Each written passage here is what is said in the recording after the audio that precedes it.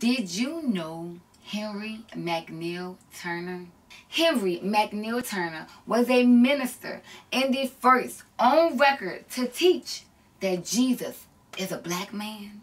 Did you know that he was the first African American appointed by President Abraham Lincoln to the position as chaplain in the Union Army?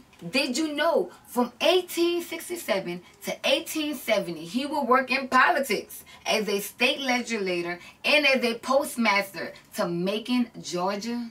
And did you know that he would soon quit politics and return back to the church?